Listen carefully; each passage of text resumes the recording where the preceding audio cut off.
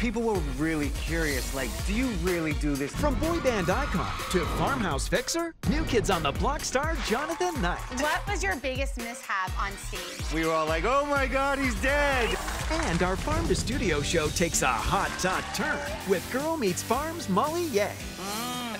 Plus, breakfast for dinner. Hello, it has eggs and bacon and sausage. Next, Rachael. See what's cooking Monday at 11 on WBNX TV.